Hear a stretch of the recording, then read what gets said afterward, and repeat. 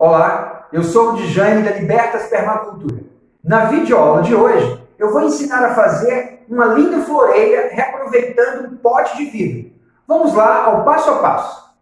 As ferramentas necessárias são uma furadeira com broca 8 mm de aço rápido para madeira, uma chave de fenda, um lápis para as marcações, uma régua, um sargento para prender a peça, uma lixa granulatura 60 e os equipamentos de segurança, um par de luvas, máscara e óculos de proteção.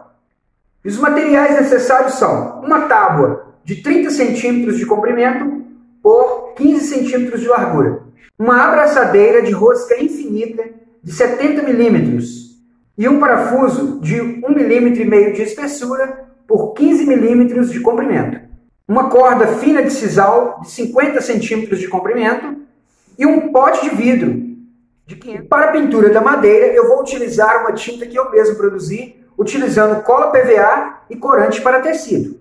Eu diluí uma colher de chá de corante para tecido, na cor marrom, em 100 ml de água quente e depois eu acrescentei 100 ml de cola PVA e misturei bem, chegando nessa coloração. Caso você faça em maior quantidade, lembre-se de colocar em um pote com tampa para utilizar em outra oportunidade.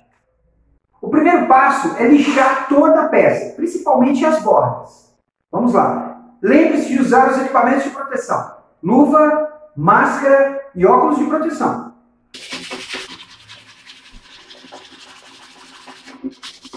Vai ser preciso fazer duas furações no alto da peça para pendurar a floreira. Então eu faço uma marcação a 2 centímetros da borda, de um lado e do outro. Então eu fiz uma marcação a 2 centímetros da borda e agora uma a 2,5 da borda lateral.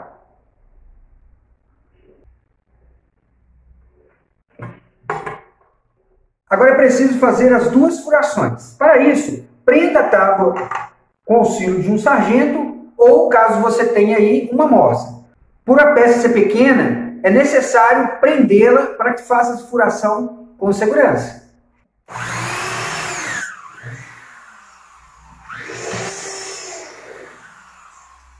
Após furar, pinte a peça.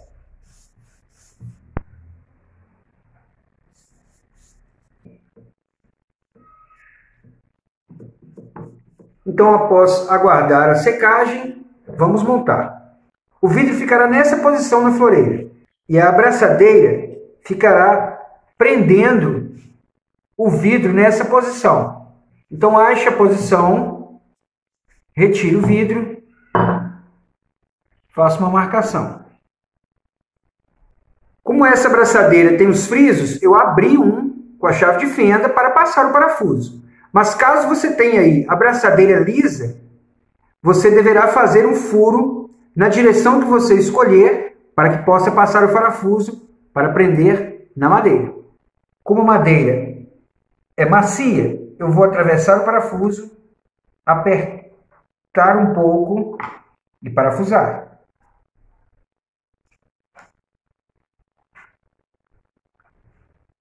Coloque o vidro e aperte a abraçadeira. Não precisa de apertar muito, só ajustar ao vidro. Agora eu vou colocar a cordinha para que seja pendurado a floreira.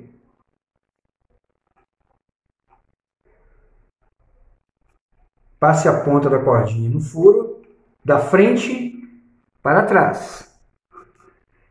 O mesmo do outro lado. Para evitar desfiar ao enfiar no furo da madeira, torça a cordinha e enfie no mesmo sentido da trama da corda.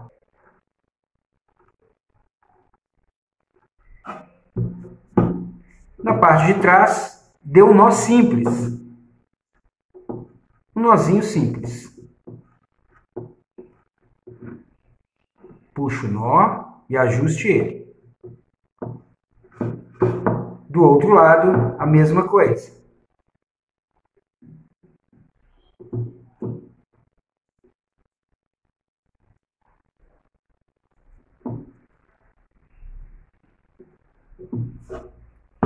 Recolho o excesso para frente.